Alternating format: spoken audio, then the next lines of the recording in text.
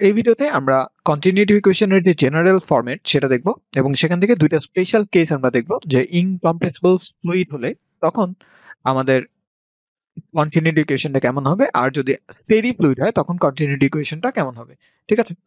তো এটাকে যদি আমরা ব্যাখ্যা করতে চাই তাহলে প্রথমে আমাদের শুরু করতে হবে এটার বেসিক্সটা দিয়ে।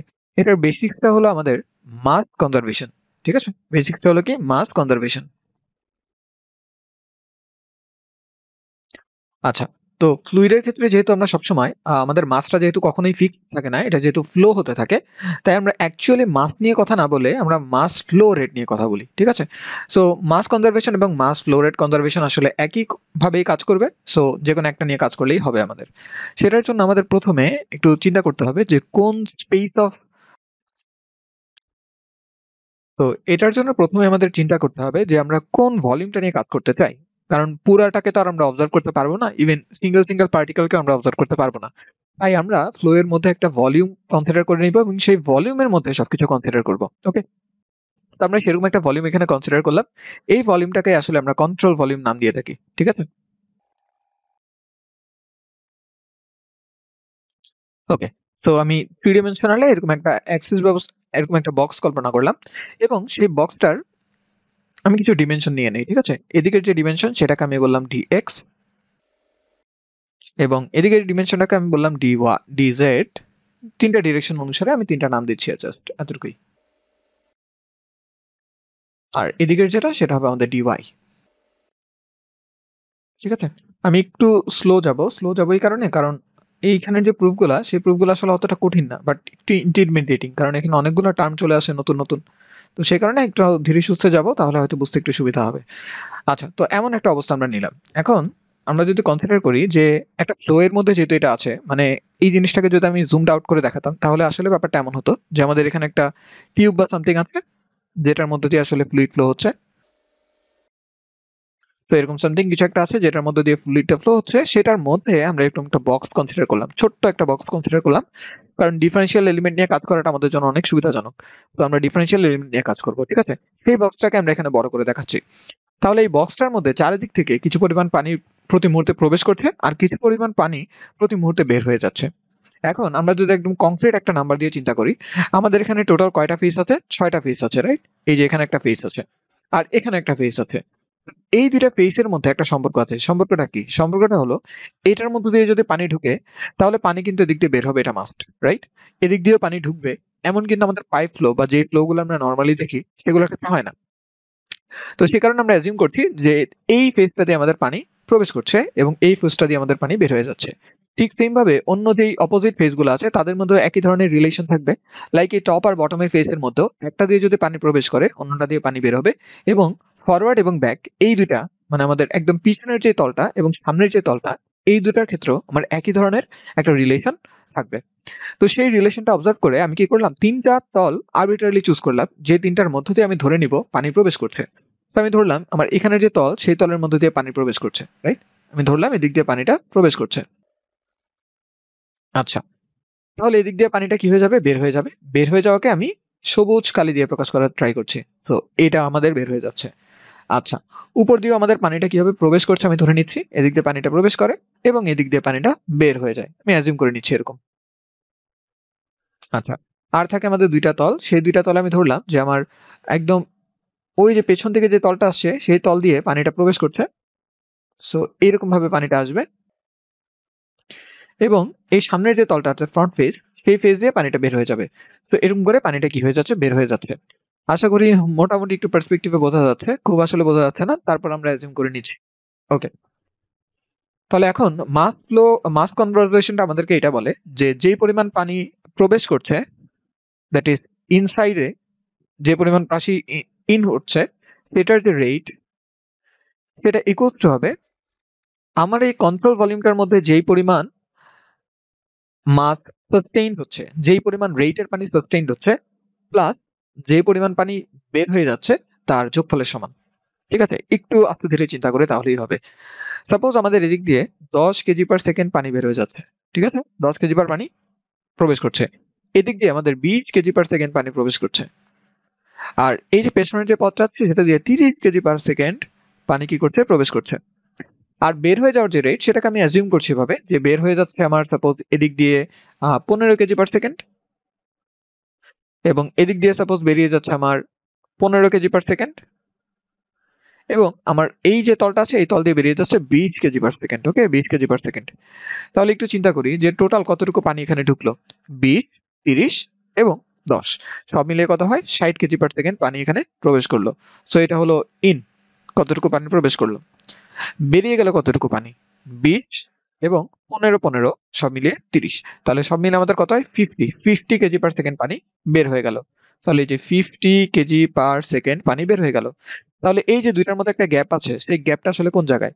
সেই গ্যাপটা হলো আমাদের এই যে ভলিউমটা আছে না, সেই ভলিউমের মধ্যে কিছু পানি তো জমা হবে রাইট তো সেই জমা হওয়া পানির যে রেট সেই রেটটা হলো আমাদের এখানে দশ কেজি পার সেকেন্ড তো আমরা এটাই বলার ট্রাই করছি যে যে পরিমাণ পানি প্রবেশ করল, সেটা দুইটা কাজে ব্যয় হয়ে যাবে। একটা হলো তার কিছু অংশ বের হয়ে যাবে, বাকিটা অংশ আমার এখানে স্টোরড হবে। তো সেই স্টোরড হওয়ার যে পানিটা, সেটাকে আমি ডেল্টা এম ভি নামে প্রকাশ করছি। তো এখানে যেহেতু রেট নিয়ে কথাবার্তা হচ্ছে, তাই আমরা এখানে রেট কথাটা ব্যবহার করলাম। ঠিক আছে? এই লেখাগুলোকে আমি মুছে ফেলি, কারণ এই লেখাগুলো আমার দরকার নেই। ওকে সো এখন আমরা যেটা করব, আমরা কতটুকু পানি এখানে প্রবেশ করল সেটা বের করব। কতটুকু পানি বের হয়ে গেল সেটা বের করব এবং কতটুকু পানি এখানে স্টোরড অবস্থায় আছে সেটা আমরা বের করব। এই তিনটা বের করে আমরা এই ইকুয়েশনে বসিয়ে দিলে যে ইকুয়েশনটা পাবো সেটাকে আমরা বলব কন্টিনিউটি ইকুয়েশন এতটুকুই আমাদের জাস্ট ঠিক আছে? তো সবার প্রথমে আমরা এখানে যে ফ্লুইড পার্টিকেলগুলো আছে, সেই পার্টিকেলের যে ভেলোসিটি সেটাকে একটু ডিফাইন করতে চাই। তো চিন্তা করি তো ভেলোসিটিটা কি হবে? ভেলোসিটির আমাদের তিনটা কম্পোনেন্ট থাকবে। একটা হলো এক্স অক্ষ বরাবর কম্পোনেন্ট যেটাকে আমরা বললাম ইউ আই একটা হবে আমাদের ওয়াই অক্ষ বরাবর কম্পোনেন্ট যেটাকে আমরা বললাম স্মল ভি জে এবং আরেকটা কম্পোনেন্ট হবে আমাদের জেড অ্যাক্সিস বরাবর, সেটাকে আমরা বললাম ডাব্লিউ কে, ঠিক আছে? তো এই কম্পোনেন্টের ব্যাপারগুলো কিন্তু একটু মাথায় রাখতে হবে আমাদের হ্যাঁ? কারণ এটা আমাদের একটু পরে ক্রুশাল রোল প্লে করবে। এখন আমার এই যে টোটাল যে ভলিউমটা আছে সেই ভলিউমটা কত? সেটা যদি আমি হিসাব করতে চাই, একটু বলি যে আমার কন্ট্রোল ভলিউম মানে যেই ভলিউমটা আমি হিসাব নিকাশ করতে চাই, সে কন্ট্রোল ভলিউম সেটা অবশ্যই ডিএক্স ডিওয়াই ডিজেড হবে রাইট কারণ এটা একটা ঘনক, সে কারণে, খুবই সহজ, ঘনক।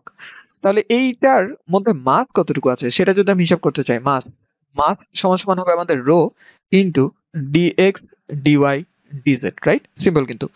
তাহলে মাসের যেই রেটটা আছে, সেই রেটটা আমি হিসাব করতে পারব না এখান থেকে? অবশ্যই হিসাব করতে পারব। তো সেই রেটটাকে আমি এখন একটু বামে হিসাব করে লিখে রাখব। আমি আসলে তিনটাকে আলাদাভাবে লিস্ট করে রাখতে চাই, তাই এভাবে রাখছি, ঠিক আছে? তাহলে আমরা এখানে লিখি যে mass flow stored in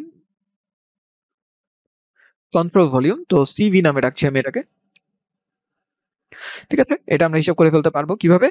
মাস আছে কতটুকু? রো ডিএক্স ডিওয়াই ডিজেড তাহলে মাস ফ্লো এর রেটটা কত হবে? এম ভি এটা যদি আমরা বলি, তাহলে এটা অবভিয়াসলি আমাদের ডি এম ডি টি হবে। কারণ টাইমের রেসপেক্টেই আমরা তো ফ্লোটা দেখতে চাই রাইট এটা বাই ডেফিনেশন কি? টাইমের রেসপেক্টে ডেরিভেটিভ হবে। আর যেহেতু এখানে অনেকগুলো ডিরেকশনের ব্যাপার আছে, তাই আমরা সবসময় কি করব? পার্শিয়াল ডেরিভেটিভ নিয়ে কাজ করব টু বি সেফ যখনই আমাদের পার্শিয়াল লাগবে না, আমরা পার্শিয়ালটা সরিয়ে ফেলব বাট পার্শিয়ালটা ইন জেনারেল একটা ভালো কাজ করে। তো আমরা এখানে ডেল্টা ডেল্টা টি এটা রাখলাম, আর এখানে আমরা কি বসিয়ে দিব? আমাদের ইকুয়েশনটা বসিয়ে দিব। সো রো ডিএক্স ডিওয়াই এবং ডি জেড ঠিক আছে? এরকম করে আমরা বসালাম। তাহলে এটার মাধ্যমে আমরা mass flow stored in CV সেটা পেয়ে গেলাম। এবার আমরা মাস ইন কতটুকু হচ্ছে সেটা আমরা বের করব।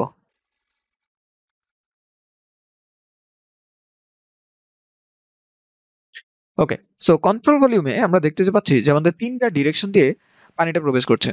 তো তিনটা ডিরেকশনকে আমরা একটু আলাদাভাবে চিন্তা করতে চাই। প্রথমে আমি এক্স অ্যাক্সিসটাকে চিন্তা করছি।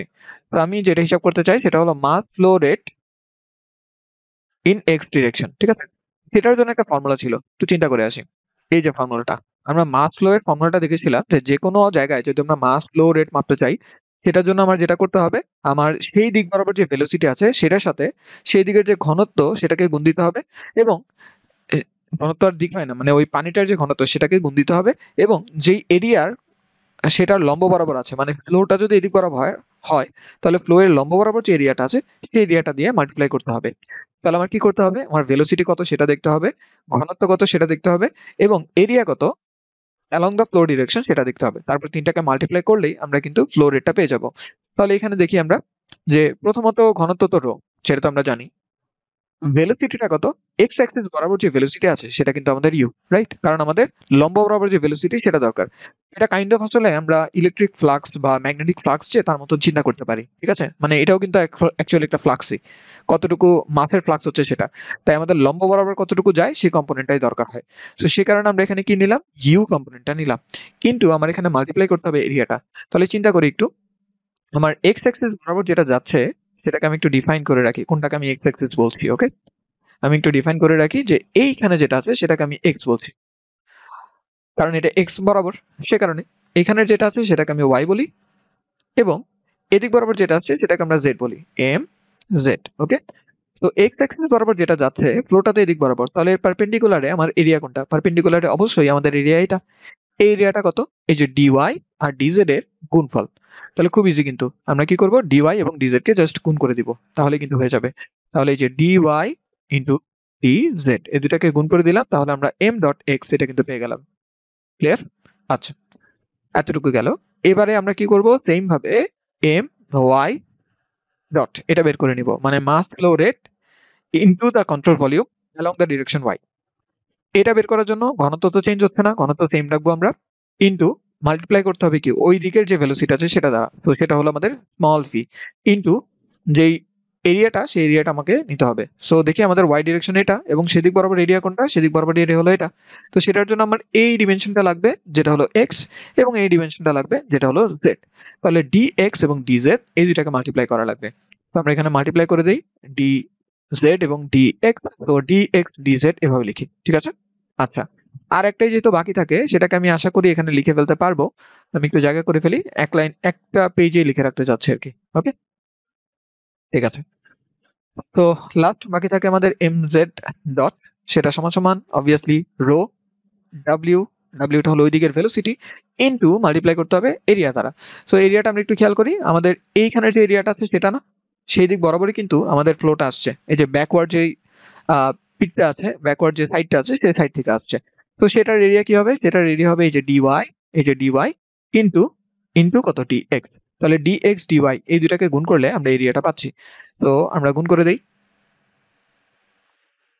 ডি এক্স এবং ডিওয়াই ঠিক আছে? ওকে তো আশা করি এতটুকু আমরা ধরতে পারলাম সবকিছুই। এবারে আমরা একটু আরেকটু কমপ্লিকেটেড হব, ঠিক আছে? আরেকটু কমপ্লিকেটেড দিকে যাব। এখন হবে আমাদের mass flow rate out of the volume তাহলে কন্ট্রোল ভলিউম থেকে বের হয়ে যাচ্ছে যে মাস ফ্লো রেটটুকু সেটা আমরা এখন একটু বের করতে চাই। তো এটা যদি আমরা বের করতে চাই, তাহলে আমাদের আরেকটা জিনিস একটু ডিফাইন করতে হবে। সেই ডেফিনেশনটাকে একটু চিন্তা করি। আমরা অ্যাজিউম করছি যে এখানে আমাদের মাস ফ্লোয়ের যে রেটটা সেই রেটটা সময়ের সাথে সাথে চেঞ্জ হচ্ছে। সময়ের সাথে না অ্যাকচুয়ালি আমরা ধরছি যে ডিস্টেন্সের সাথে সাথে চেঞ্জ হচ্ছে। অর্থাৎ আমরা কি বোঝাতে চাচ্ছি? আমরা বলতে চাচ্ছি যে ইন জেনারেল এইখানে আমাদের যে মাস ফ্লোটা থাকবে, এইখানে আমাদের মাস ফ্লোটা এক্স ডিরেকশনে সেম হবে না চেঞ্জ হয়ে যাবে। তো যখন আমরা এখান থেকে ধীরে ধীরে হাঁটতে হাঁটতে হাঁটতে হাঁটতে হাঁটতে হাঁটতে এদিক পর্যন্ত আসব, তখন আমার কন্টিনিউয়াসলি কি হতে থাকবে? মাস ফ্লো রেট যেটা, সেটা চেঞ্জ হতে থাকবে। তো এই মাস ফ্লো রেটের যে চেঞ্জ এক্স ডিরেকশনে এটাকে আমরা এভাবে ডিনোট করতে চাচ্ছি। যে delta m x dot delta x আকারে। তাহলে এটা দ্বারা আমরা কি বুঝাচ্ছি? এটা দ্বারা আমরা বুঝাচ্ছি change of mass flow rate মানে মাস ফ্লো রেট নিজেও একটা রেট সেটারও আবার চেঞ্জ নিচ্ছে ঠিক আছে? মাস ফ্লো রেটটা চেঞ্জ হচ্ছে কীভাবে? অ্যালং দ্য ডিরেকশন এক্স সেটা আমরা নেওয়ার ট্রাই করছি ওকে তো এই তিনটা জিনিসকে আমরা একটু ডিফাইন করে রাখি এখানে।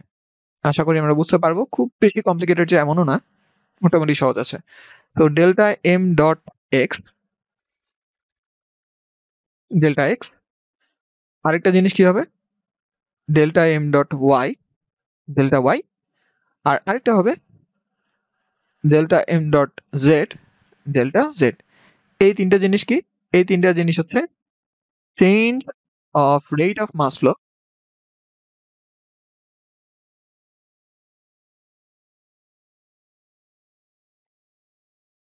respective directions মানে ওই ডিরেকশন বরাবর চেঞ্জ কত সেটা আমরা জানতে চাচ্ছি। আচ্ছা এইবারে যেই পরিমাণ মাস বের হয়ে গেল, সেটা আমরা হিসাব করতে চাই। তো সেটাকে কি আমি এভাবে প্রকাশ করতে পারব? যে সেটা হলো, আমার এক্স প্লাস ডিএক্স দূরত্বে গিয়ে যে মাস ফ্লো রেটটা হয় সেটা সমান। ঠিক আছে? এই যে এক্স প্লাস ডিএক্স পরিমাণ দূরত্ব, এখানে গেলে যে মাস ফ্লো রেটটা হয়, সেটাই হলো আমাদের বের হয়ে যাওয়ার মাস ফ্লো রেটের পরিমাণ। তাহলে সেটাকে আমরা একটু মেজার করতে চাই। তো মেজার করা যায় কীভাবে? একটু চিন্তা করি। অলরেডি আমার কাছে কতটুকু মাস ফ্লো রেট ছিল? ঠিক আছে? আমি কালারটা একটু চেঞ্জ করি। ওকে, এভাবে লিখতে চাই। তো তিনটা করি। যখন আমি এক্স দূরত্বে আছি ডিএক্স এখনও যায়নি, তখনই আমার মাস ফ্লো রেট কত আছে? এতটুকু পরিমাণ আছে, ঠিক আছে? এতটুকু পরিমাণ অলরেডি আমার কাছে কি? মাস ফ্লো রেট আছে। এর সাথে আমার কি হবে? চেঞ্জটা অ্যাড হয়ে যাবে। তো আমরা এখানে জানি যে এক্স অ্যাক্সিস বরাবর যে চেঞ্জটা সেই চেঞ্জটা হলো এরকম। তো এটা তো একক দৈর্ঘ্যের জন্য চেঞ্জ রাইট মানে রেট মানে কি? রেট মানে হলো এককের জন্য। আমরা কতটুকু গেলাম? আমরা টোটাল ডিএক্স পরিমাণ গিয়েছি তো টোটাল চেঞ্জ হয়েছে কিন্তু এতটুকু তাহলে আগেরটার সাথে চেঞ্জটা যদি আমরা অ্যাড করে দিই, তাহলে নতুনটা কত সেটা আমরা পেয়ে যাব না। তো এভাবে কিন্তু আমরা বের হয়ে যাওয়ার সময় কতটুকু মাস ফ্লো রেট হচ্ছে অ্যালং দ্য ডিরেকশন এক্স সেটা পেয়ে গেলাম। তো এটা দেখা দেখি সিমিলারলি এখন আমরা অন্যগুলোও লিখে ফেলতে পারি। সো অন্যগুলো আমি লিখে ফেলি।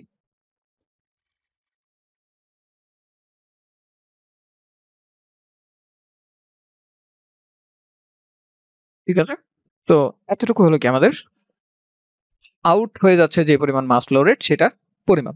তাহলে আলটিমেটলি দেখো, আমরা কিন্তু সবগুলো হিসাব করে ফেলেছি। এই যে আমাদের মেইন মাদার ইকুয়েশন যেটা ছিল, এই এক নম্বর ইকুয়েশনটা সেখানে যা যা দরকার সবগুলো আমরা হিসাব করে ফেলেছি। কারণ এই যে ইন যে, এই ইনটা কিন্তু আমাদের তিন দিক থেকে হচ্ছে রাইট আর মাস ফ্লো রেট এটা যেহেতু একটা স্কেলার রাশি তাহলে তিন দিক থেকে যে হচ্ছে, সেটাকে আমরা অ্যাড করে দিলেই হয়ে যাবে। তো তিন দিকে ইন্ডিভিজুয়ালি কত হচ্ছে, তা কিন্তু আমরা বের করে ফেলেছি। এই যে এক্স অক্ষে কত ওয়াই অক্ষে কত জেড অক্ষে কত। তিনটাকে যদি যোগ করে দিব, তাহলে টোটাল ইনসাইড কত হচ্ছে, সেটা আমরা পেয়ে যাব। টোটাল আউট কত, সেটাও আমরা পেয়ে যাব, তিনটাকে যোগ করে দিলে। এবং ভিতরে কতটুকু আছে ফ্লো রেট সেটাও আমরা অলরেডি বের করে রেখেছি এই জায়গাটায়। তো এই তিনটাকে এখন আমরা আমাদের মাদার যে ইকুয়েশনটা সেটাতে বসিয়ে দিই, ঠিক আছে? So substituting the value in equation one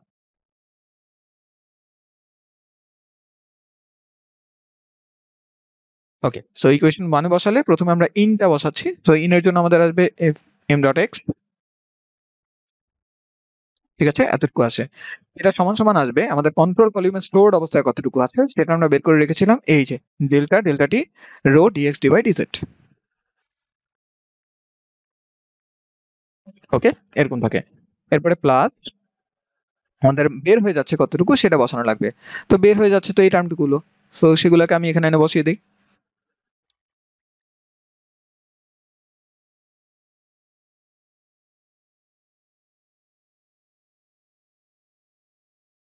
okay so finally আমাদের এই বিশাল লম্বা একটা ইকুয়েশন আসলো।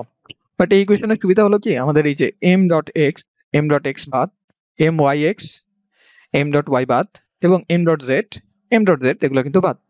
তাহলে বাম পক্ষে আমাদের একটা বড় সড়ো জিরো আছে আর ডান পক্ষে এই রাশিগুলো থাকে। এই রাশিগুলোকে আমরা একটা একটা করে বসাতে চাই। ঠিক আছে? একটু চিন্তা করি যে আমাদের কন্ট্রোল ভলিউমের যেই সাইজটা সেই সাইজটাকে আমরা ধরতে পারি না যে ডিএক্স ডিওয়াই ডিজেড এটা টাইমের সাথে চেঞ্জ হবে না। ঠিক না? ধরা যায় কিন্তু। ইভেন টাইমের সাথে কেন? এটা কিন্তু স্পেসের সাথেও চেঞ্জ হচ্ছে না। তো আমরা এগুলোকে কনস্ট্যান্ট হিসেবে বাইরে নিয়ে আসতে পারি। সো বাইরে যদি নিয়ে আসি, খেয়াল করি কি থাকে?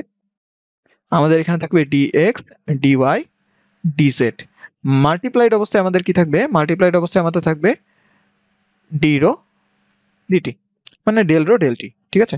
আর এখানে আমাদের কিন্তু ভেক্টর মাল্টিপ্লিকেশন না, এটা আবার একটু কনফিউজিং লাগতে পারে। নর্মাল মাল্টিপ্লিকেশন তো আমি একটা ব্র্যাকেট ব্যবহার করি জাস্ট সেভ কার্ড থাকার জন্য। এরপরে প্লাস প্লাস আমাদের এখানে একটা ডিএক্স আছে। তো ডিএক্সটাকে আমি মনে করো পরে লিখব। এই যে এম ডট এক্স এটার ভ্যালু কিন্তু আমাদের জানা আছে রাইট এই যে এম ডট এক্স আমরা কিন্তু বের করেছিলাম।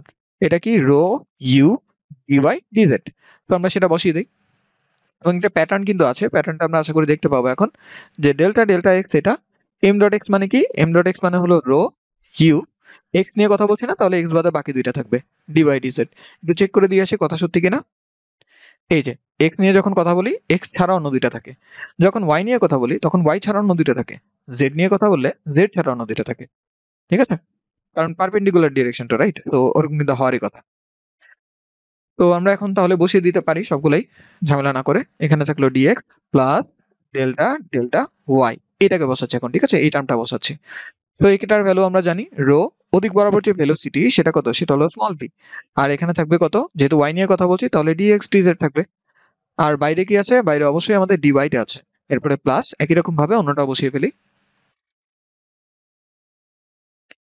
ওকে তো সব মিলিয়ে এটা কত হয়ে যায়? জিরো হয়ে যায়। এখন একটু চিন্তা করা লাগবে, সেটা হলো এই যে ডিএক্স ডিজেড একটু আগেই বলেছিলাম, এগুলো কি কনস্ট্যান্টের মতন ট্রিট হবে? ইভেন আমরা এখানেও দেখতে পারি যে ডিফারেন্সিয়েশনটা হচ্ছে এক্সের রেসপেক্টে তাহলে y z d z dy এগুলো তো কনস্ট্যান্টই হবে রাইট তো সে কারণে এই দুটাকে আমরা বের করে নিয়ে আসতে পারব। বের করে যখন নিয়ে আসব, তখন ডিওয়াই ডিজেড ডিএক্স এই তিনটা গুণ আকারে থাকবে। ডিজেড ডিএক্স ডিওয়াই তিনটা গুণ আছে। ডিএক্স ডিওয়াই ডিজেড এই তিনটা গুণ আছে। এখানেও ডিএক্স ডিওয়াই ডিজেড এই তিনটা গুণ আছে। তাহলে সবগুলো রাশিতে ডিএক্স ডিওয়াই ডিজেড গুণ আছে। এটা তো জিরো হবে না রাইট জিরো না হলে আমরা চাইলে খুব ইজিলি এটাকে ভাগ করে দিতে পারি। তো ভাগ করে যদি দেই, দিলে আমার যে রাশিটা বাকি থাকে সেটা কি? সেটা আমি একটু লেখা ট্রাই করি। প্রথমে ডেল্টার গুলাকে আগে লিখি। তো ডেল্টা ডেল্টা এক্স এখানে থাকল কত? রো ইউ ঠিক আছে? Rho u plus delta delta y এখানে থাকল কত? Rho small v plus delta delta z এখানে থাকল রো ডাব্লিউ প্লাস এখানে থাকল delta rho divided by delta t এইটা ইকুয়াল টু আসে কত? জিরো আচ্ছা এতটুকু আসেই আমরা থেমে যেতে পারি বাট আমি আর স্টেপ একটু সামনে আগাবো। এই জিনিসটা একটু চিন্তা করি। আমাদের ভেলোসিটি যে ভেক্টরটা ছিল, সেটার কথা একটু ভাবি। ভেলোসিটি ভেক্টরটা এমন ছিল না যে ভেলোসিটি ভেক্টর ভি এটা সমান সমান হচ্ছে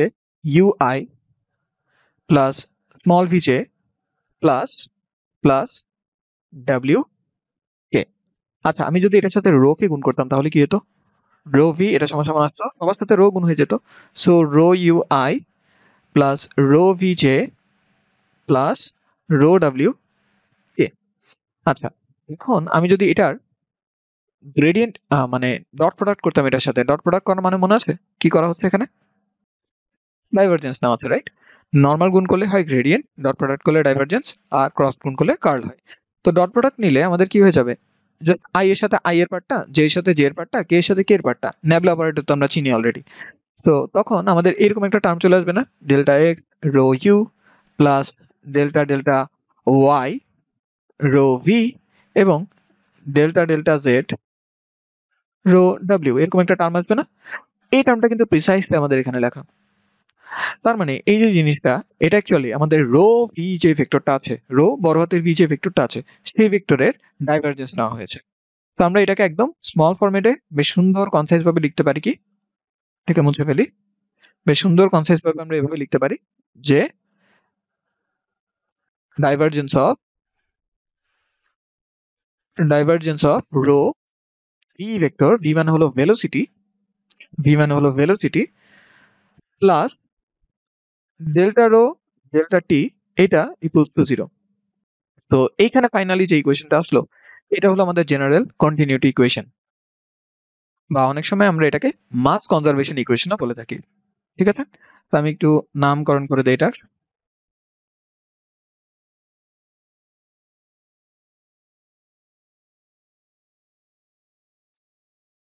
ওকে তো এখন আমরা দুইটা স্পেশাল কেস দেখতে চাই। এখানে দেখিয়ে ফেলি। ভিডিওটা জানি একটু বড় হয়ে গেছে, তারপরও এখানে দেখে যাওয়া যাবে আশা করি। কেস ওয়ান কেস ওয়ানে আমি নিচ্ছি কি? স্টেডি ফ্লো আচ্ছা তো স্টেডি ফ্লো এর ক্ষেত্রে কি হবে? একটু চিন্তা করি তো। স্টেডি ফ্লো এর ক্ষেত্রে আমাদের যেই ভেলোসিটি অথবা ঘনত্ব, এগুলা টাইমের রেসপেক্টে কোনোভাবেই কি হবে না চেঞ্জ হবে না। ঠিক আছে? তাহলে আরেকবার, কি হবে না? স্টেডি ফ্লো এর ক্ষেত্রে টাইমের কোনো কথা থাকবে না।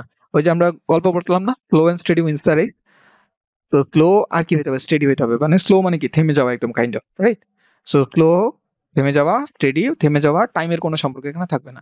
তো টাইমের রেসপেক্টে যতগুলো ভেলোসিটি থাকুক না কেন, যাই থাকুক না কেন, সবগুলো ডেরিভেটিভ জিরো হবে। সো এখানে যারাই আছে ডেল্টা ইউ ডেল্টা টি অথবা আমরা যদি বলি ডেল্টা ভি ডেল্টা টি অথবা যদি এরকম বলি ডেল্টা ডাব্লিউ ডেল্টা টি অথবা ঘনত্বের কথাই যদি বলি ডেল্টা রো, ডেল্টা টি এই সবগুলাই কিন্তু কি হবে? জিরো হবে। কিন্তু মাইন্ড ইট আমাদের এখানে আমরা কিন্তু এটা বলছি না যে আমাদের রোটা কনস্ট্যান্ট আমরা কিন্তু এটা কখনোই দাবি করছি না যে rota constant for steady flow steady flow এর ক্ষেত্রে জাস্ট এই জিনিসটা সত্য হবে না। সত্য হবে। মানে টাইমের রেসপেক্টে কোনো জিনিস চেঞ্জ হবে না। তাহলে এটা যদি সত্য হয়, আমরা এই যে জাস্ট এই শর্তটাকে ব্যবহার করব, ব্যবহার করে কি বলে ফেলতে পারব? যে delta rho over delta T এটা জিরো হয়ে যাবে।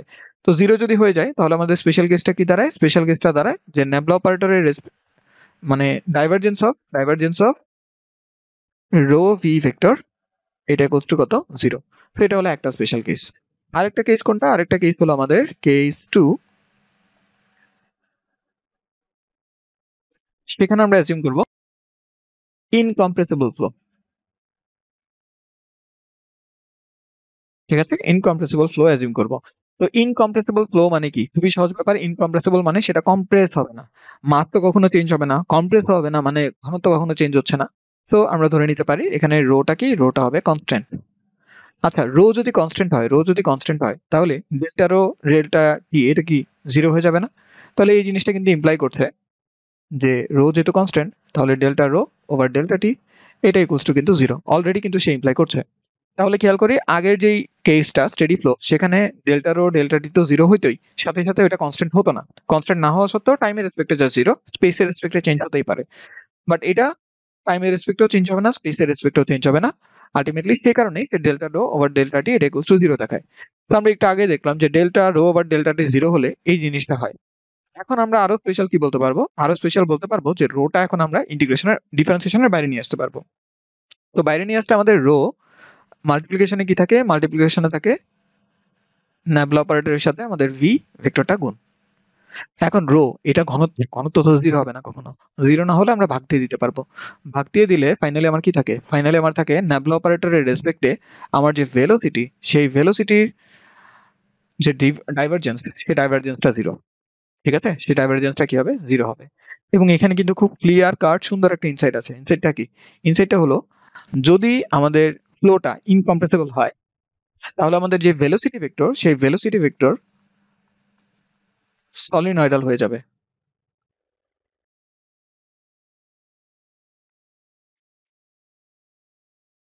ঠিক আছে? তাহলে আমাদের ফ্লোটা কি হয়ে যাবে? সলিনয়েডাল হয়ে যাবে। তো এটাই ছিল আমাদের মেনলি দুইটা কেস এই যে ফর্মুলাটা, এই ফর্মুলাটা আমাদের কাজে লাগবে যখন আমরা স্টেডি অ্যান্ড ইনকম্প্রেসিবল ফ্লো এর জন্য ভেলোসিটি পোটেনশিয়াল জিনিসটা মেজার করতে যাব। তখন দেখব আমরা এই কোয়েশন থেকে ধীরে ধীরে সামনের দিকে এগিয়ে ওই ইকুয়েশনগুলো বের করে নিয়ে আসব। ঠিক আছে? তো আশা করি আমরা এই প্রুফটা মোটামুটি বুঝতে পারলাম। এই প্রুফটা আমাদের জন্য রাদার ইম্পর্টেন্ট হতে পারে মানে সামনের যে কনসেপ্টগুলো সেগুলো বোঝার জন্য।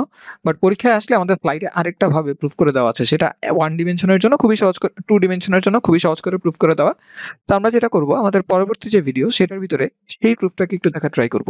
কারণ সেই প্রুফটা অনেক বেশি কনভিনিয়েন্ট অনেক বেশি অল্প সময়ে করে ফেলা যায়, এটার মতন এত ঝামেলা করে করা লাগে না। যদিও খুব বেশি ঝামেলা না এই প্রুফটা তারপরে ওইটা যেহেতু আমাদের স্লাইডে গিভেন সো আমরা ওইটা ফলো করার ট্রাই করব, ঠিক আছে?